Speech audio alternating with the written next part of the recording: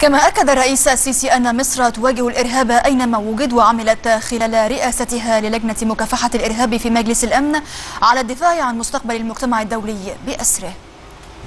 إن مصر التي تخوض حربا ضروسا لاستئصال الإرهاب من أرضها ملتزمة بمواجهته وتعقبه والقضاء عليه بشكل نهائي وحاسم حيثما وجد وليس بخاف عليكم أن مواجهة الإرهاب كانت على رأس أولويات مصر. خلال فترة عضويتها في مجلس الأمن على مدار عامي 2016 و2017 ورئاستها للجنة مكافحة الإرهاب ليس فقط دفاعا عن مستقبل مصر بل دفاعا عن مستقبل المجتمع الدولي بأسره.